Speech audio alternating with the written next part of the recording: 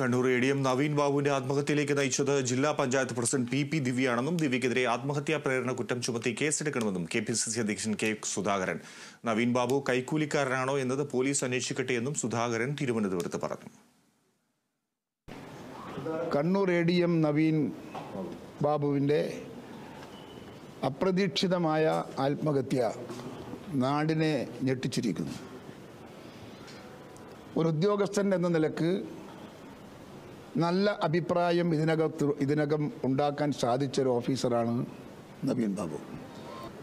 ആ ഉദ്യോഗസ്ഥനെ ആത്മഹത്യയിലേക്ക് നയിക്ക നയിച്ചത് ജില്ലാ പഞ്ചായത്ത് പ്രസിഡന്റാണ് എന്നതാണ് ഏറ്റവും വലിയ ദുഃഖകരം. അവരെന്തിനവിടെ വന്നു? അവരെ ക്ഷണിച്ചിട്ടില്ല ഈ ചടങ്ങിൽ. കുതിര വരുന്നത് പോലെ അവർ വരുന്നത് കണ്ടു. പറയാനുള്ളത് പറഞ്ഞു. കുതിര ഓടുന്നത് പോലെ തിറങ്ങി ഓടുന്നത് ഞങ്ങൾ കണ്ടു.